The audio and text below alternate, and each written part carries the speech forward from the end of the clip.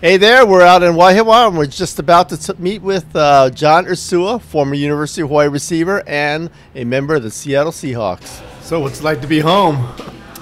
Um, man, it's it's super nice after going through a full season um, and you know being on the the, act, the roster and just f- completing a whole season where I could get comfortable and uh, kind of learn the the ins and out of the league.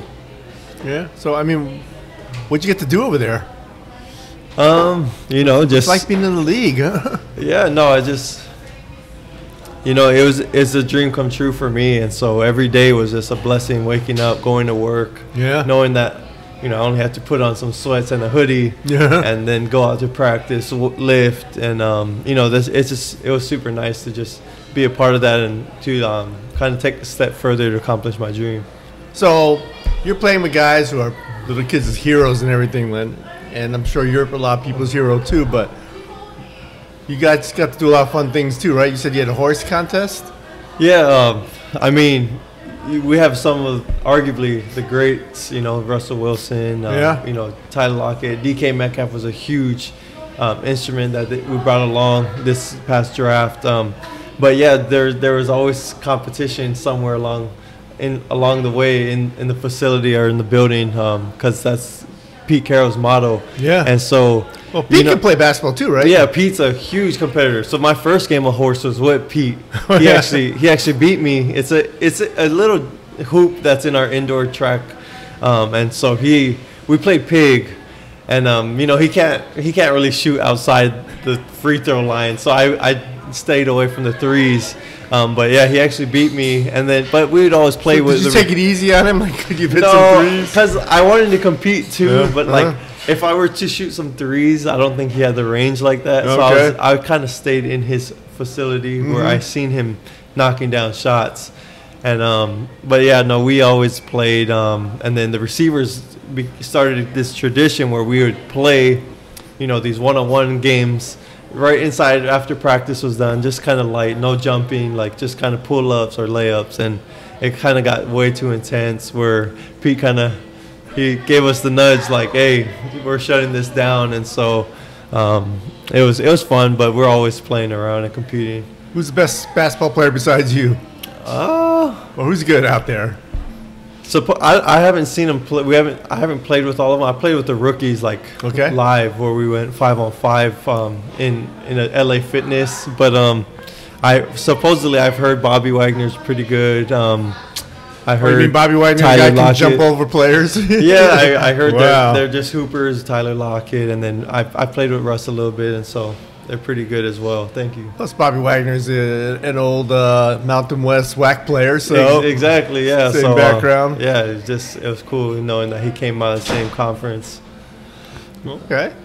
Yeah, What do you guys do all day? I mean, uh, what's what's like when you first get up to like regular Um, practice day?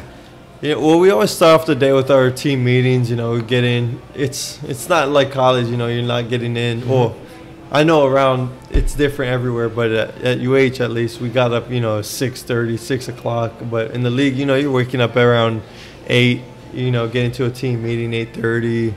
You know, hit the weight room, and you know you start breaking down opponents if you're in season, and um, then you get to practice from there. You have a walkthrough practice, a lunch, then a, a, the real practice, and then you watch the practice, break down everything. So you just you're just in the mode the mood of just breaking everything down, getting better.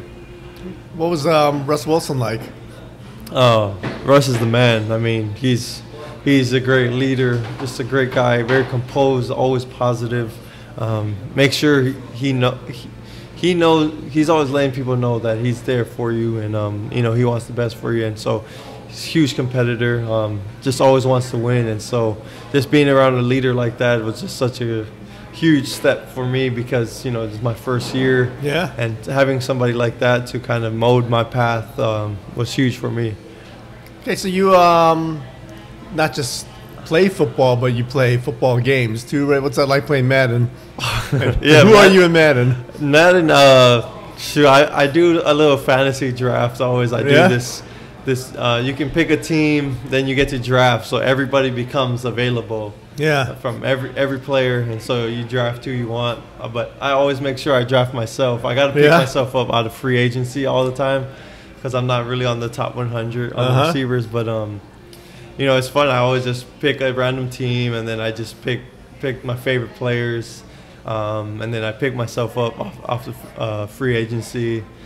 Kind of boot my stats a little bit, and then just start my guy, and just have fun playing that. Yeah. What position are you? Are you more inside, outside? Um, I move him into the slot, but I move him outside too, so I make him the number one receiver, so he's always in the game. But um, And yeah, you can also be a quarterback because you start a game at quarterback for UH. yeah, no, I, uh, I, I would have, you know, loved to kind of play with that, but no, I always put in a wildcat uh, formation on the Madden, Okay. so I get to play quarterback a little bit here and there. Wow, that's fun. And and how, what's the name of your team? Oh, You get shoot, I no, you just pick a regular team, but I don't know. Oh. I picked the Seahawks or you know whatever team. So. Did anybody ever call you up and say you're on their fantasy team or? Oh yeah, I, was, I mean, all my closest friends always they all picked me up this past season. Um, I told them not to put me in. Yeah. I said I'll let you know if you should put me in or not. And so, um, you know, unfortunately, this year wasn't my year. Um, but you know, hopefully the next year they'll they'll pick me up again. Yeah. So what was it like when they activated you? Oh, uh, so I was activated for about five games this season. Yeah. Um, you know, the first like two, when it was the first, yeah. So the first one it was week two versus the Steelers. Then it wasn't again till about like week 13 versus the Carolina Panthers, and then the Niners game was the third one, and you know that's when I actually had a, my cat, my first NFL catch, and Yeah. uh, got to experience a lot more playing time because all those other ones I didn't actually go Yeah. in. I just, you know, we just the situation on my uh, formation wasn't called, and so um, actually getting that Niners one where it was the championship game. It was fourth and ten. Yeah. Um, you know, going in and everything's on the line, and um, have, having to make a play and having that catch was just huge for me, and um, I, it was just fun to ha- finally have that under my belt and um, just kind of get my feet wet. What'd you do with the ball? Did they let you keep the ball?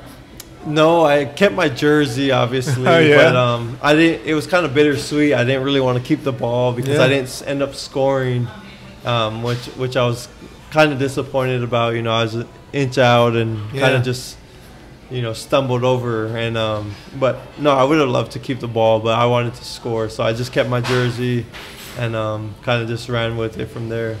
Wow. Yeah. Big time playoff. I mean, that's exciting, right? I mean, big game or Yeah, no, that was. I mean, in in pers- a great perspective of things, yeah, it was a, it was a big play. You know, it was Yeah. fourth and ten, and it's our you know conference rivals in a Yeah. way you can say in a championship game, and so Yeah. you know I just had to step up and make a play, and I, w- I wasn't you know nervous or nothing. I was just excited to get in and kind of see what I could do, and sure enough, the ball came my way. You know, got the first down. It was first and one, and and the rest was history. You know, Wow. yeah. Great catch. Great play, huh? Yeah, it was it was not bad. You know, like I said, it was bittersweet. I should have stayed up and scored or try to stretch my you know stretch the ball out into the end zone. But it was a great play overall. You know, just giving my team a chance. Oh, so um, what was the hardest thing when you got into the league? Was people trying to pronounce your name? Oh yeah, we we struggled multiple days, just weeks, months with Uh-huh. Ursula, Ursula. Like it was just like it was a it was a struggle, and I, I you know I told Ur- everyone just- Ursula, like the Little Mermaid. yeah, like it was just so it was a struggle, and so I was just like, you know, just keep it simple. Like call me Ju, Uh huh. and um, but everybody had their nicknames for me. People were calling me Urs. They Ah. start they shortened it, called me Urs. Um, some guys are calling me Ju. Um, yeah, it was just like there was a couple other ones where I was just like, man, I never even heard that one, but yeah, it was it was a struggle with the last name. So I everyone just calls me Ju now. So just go by Ju. So that was the dream part you got to live. What was it like dreaming the dream when you're when you're a young kid, and you said you grew up on um, Big Island. Yeah. Kailua Kona, Hawaii. Yeah. yeah, and you didn't you didn't have much then, right? Yeah. Yeah. What, what was it like uh, living, growing up there? Yeah, I mean, so just growing up, you know, in Hawaiian homes where, Yeah. you know, you have to have that Hawaiian heritage to be Yeah. able to stay there. And, um, you know, I have a big family of five. Um, I'm the youngest. And so, no, not growing up with much, you know, um, just, you know, our parents doing what they can to Yeah. make by and uh, make sure we're, we have food on the, our table. And Yeah. so, you know, being able to see the dream at such a, such a young age was only available because of um, how well my parents and my brother, my Yeah. brothers and sisters paved the way for me. You know, I always saw, seen how hard my parents worked, regardless that we didn't have much. They always made sure we had food on our table and we were taken care of health wise, and um, and then also seeing my brothers, you know, pursue their love of the Yeah. game of basketball, football, whatever it was. Um, like I said, being the youngest, I seen all these things, and I said, man, I want I want to be like that, and I want to I want to work hard to accomplish something so great, and so you know, just I always had that in my mind. It was just being the best at what I do, and so it wasn't. I, I'm I love bas- basketball. is my first love, so Yeah. um, I always wanted to make it to the NBA, and that was that was what I wanted to do, and that's what I had my mind set on until you know kind of later in high school where I started kind of getting offers for football as well, and um, that's when I said, you know what, it doesn't matter which one I do. It's just I want to be the best at it, and so that's what I uh, strive to do every day, and um, and that's kind of what what led me to my my journey to um, you know I served my mission. I came back, played for University of Hawaii for three seasons, um, and then got my my chance, and so. That's all I needed, you know. Every step, every journey, I just needed an opportunity to play and show what I could do, and so that was the biggest part. And um, I just enjoyed it every ride of the, every step of the way. I just enjoyed it, made sure I had fun, and I was working hard.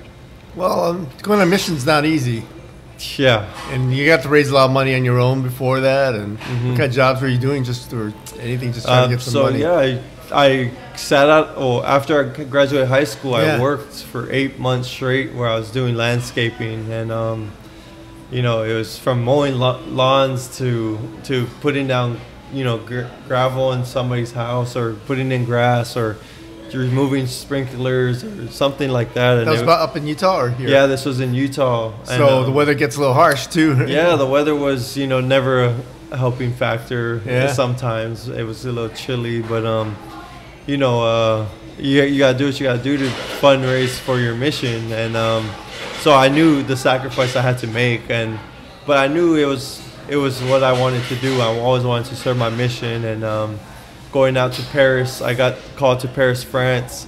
Taught me so much about myself. You know how to take care of myself, how to be responsible, how to um, you know care about other people and how to serve them and so that's that was the biggest thing about my mission was just making sure I learned my these attributes and made sure I brought them back with me because I knew I was going to come back to college and start late I you know normally kids are starting at Yeah. 18 19 I came back at 21 at my freshman year and so it, it, it, was a blessing but you know it was also starting late but you know it all worked out for the best Well, um, because you had um, committed so early, hmm what was it like? Uh, you know, were you kind of worried? Like, did they forget about me, or you know, because outside uh, mine, you were off the radar for about three years. Yeah. Um, well, luckily, the biggest blessing, right, was that Norm Chow was also a member. Yeah. So he kind of understood the the mission part of it. So he actually, I, you know, I signed with Hawaii. I go then go on my mission, but he stayed in contact with me. He would email me every once in a while, see how I was doing, and so that was the best part, right? So. Um, coming back, I wasn't like, man, what's what's going on? What's my path? What, where I'm gonna have to go? It, it was kind of like I was still just so in tune because Norm made it that way. Yeah. And so when I came home off my mission, Norm Norm's offers still stand, but you know, Oregon State came knocking, BYU came knocking, and so I had options, and I was Yeah. like, what do I do? And um, but sure enough, you know, I I felt best going coming back home, playing for my state, and Yeah. also Norm Chow just did a great job of staying in contact with me, and so I felt like I was I had an obligation to come back and play for Hawaii. So when you're on your mission, um, they give you what, maybe an hour in the morning to kind of work out on your own. Yeah, you get And- roughly a 30, 45 minutes, but it has to be from 6:30 to 7:30. So where do you work out in um, Paris? Without, uh, I, don't, I don't imagine there are many footballs around there. No, not at all. There's, I mean, soccer balls flying around everywhere, but um, you know, you, we couldn't, we weren't allowed to go to gyms, so it had to be just free weights or body weight or like, you, ju- you know, just like running, sit-ups, push-ups. Um, so we, what me and my companion would do, we would get up and run two miles every day. Um, I it varied every once in a while. You know, like in the middle of my mission, towards the end of my mission, I kind of slowed down with the Yeah. running, and I kind of started doing a little bit more push-ups just to kind of get my my muscles, you know, staying intact. But um, yeah, I just did whatever I could around the apartment. I'll just pick up pick up heavy things in my apartment, try to curl it, or you know, we didn't have free weights laying Uh-huh. around, and so whatever we had, I just kind of used in like shoulders or anything. Like I just used that little window, six thirty to seven, to just kind of get Wow. get a little sweat break. So Wow, a, well, you like to lift weights, uh, or you're kind of freakishly strong, aren't you? yeah, I'm. Uh, I'm the combine. What'd you do again? I Um, did 17 for 17? 225, but wow. I, I'm a gym rat, so like, you know, but that wasn't my main focus on my mission. Obviously, my mission Yeah. was to serve others and bring others to Christ, and so, you know, you know, it was tough because like as much as of, of gym rat I am, I Yeah. couldn't really focus on doing that because I knew my calling was something else. But um, yeah, I. I'm always in the gym. I'm working out two, three times a day. Yeah. I love pushing weight. Like, you know, my dad was a bodybuilder, so I always seeing pictures of him and seeing how strong he was. I, I kind of got to compete with him. I got to compete with my two older brothers who, every time I lift with them, they're always telling me, oh, I'm still stronger than you. And so I just, I always got somebody pushing me. Wow, that's pretty incredible then. Yeah. Just, hmm Yeah. uh, so um, your experience in Paris, you made friends and everything, and but you have to learn another language. You're a guy who went to Hawaiian immersion school, Yep. and then all of a sudden now you've got to learn another language, and, Yep. Yeah. and in so- a very short time too. Exactly. Yeah, exactly. So, you know, I grew up speaking Hawaiian. Um, Yeah. I went to Hawaiian immersion from kindergarten to eighth grade. So I was speaking Hawaiian all throughout school. Um, and then, yeah, you get I get called to Paris, France. And Yeah. Now I got to teach people in French, and so not know having any French history background of the language, um, you know, I have to kind of pick it up pretty quick, and so, you know, I picked it up as quick as I could, and you know, within three four months, I'm speaking, I'm able to get by, and I can understand pretty well. You know, by six eight months, I'm understanding almost everything Okay. and then to like a, a year a year and a quarter i'm speaking just like fluently just kind of getting by everything i need to and then that whole last six months of my mission you're you should feel comfortable and uh, speaking understanding you know knowing your message so yeah it was just it was great you know now it gets but now i have those tools in my Uh-huh. box you know i speak hawaiian i speak french speak pidgin you know whatever it is so um, it's just nice to have Oh, that's great. yeah So for a guy who um, didn't have a lot of things growing up, um, you finally get some paychecks. hmm What'd you buy yourself? Um, surprisingly, I didn't spend any money on myself, but I did. Um, as soon as I had enough money where I was a little comfortable, Yeah. I, I bought my mom a house in Utah, Wow. and so um, I got her a nice a nice place out there in uh, Lehi, and um, you know I didn't didn't get like I said I didn't get myself a house, a car, nothing, you know, because still early in my career, I don't Yeah. you never know what could happen, Yeah. and so you know I stayed away from big purchases. I just bought my mom a house because I always wanted to do that, and so that was a great blessing for me. Did she know you were buying it, or was it a surprise? Um, it was a surprise, but at the same time, I, I let them uh, I let her pick out the house. So, okay. You know, I yeah, I told her to stay in a reasonable budget, but Yeah. um, you know, she she did a good job. She picked out a nice house. I went and saw seen it um, right when season was done. I went and visited the house, and um, so it was a great it was a great blessing, like I said, and it was just a huge. Um, you know, huge relief just not knowing my mom doesn't have to move Yeah. around and live with my siblings. She could just have her own spot. So how did you break it to her? Um, you know, I just I told I set up some visits Yeah. um, in the in the area. I, I kind of you know months prior I asked Uh-huh. her, hey, where where would you want to live? And she kind of gave me some ideas. So I called up some places where she could visit.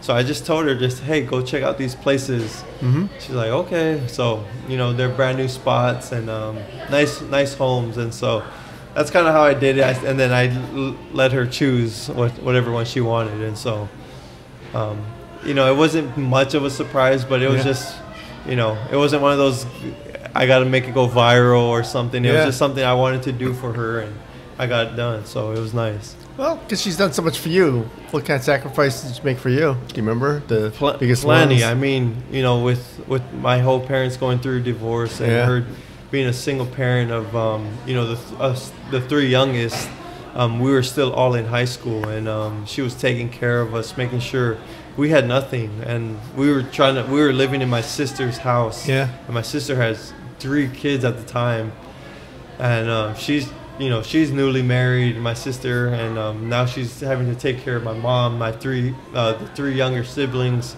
and we were bouncing house to house, and um, you know just trying to make ends meet, and um, I ended up living with my friends when I moved to Utah because I seen the struggle and how much you know, I was just trying to take off a burden off my mom. And so, you know, all she's done, you know, she's always had two or three jobs. She's Yeah. always, you know, taking overtime to make sure we're eating and make sure we're, you know, we're well taken care of. And so it was the least I could do. And so um, I was just so grateful to get it, being able to get her that house in December. You must have really appreciated the value of a UH scholarship. I mean, mm -hmm. Yeah, that was, that was and the huge. breakfasts and everything that comes with it. And the- yeah, I I told her. I mean, I, I wasn't gonna go to a school unless I had a full ride scholarship, Yeah. and and that was the reality of it, you know. And um, it's scary because you know I'm not in control of who offers me a full ride, but um, I I promised her, you know. I'm gonna get that done so that she doesn't have to worry about taking care of no, no payments, you know. And Mhm. so, um, it was just a huge, another huge blessing, you know, just getting that, then getting that full ride scholarship, getting meals taken care of, you know, my education and so much more, you know. And so it, it was just a huge uh, blessing, uh, huge accomplishment, and everything.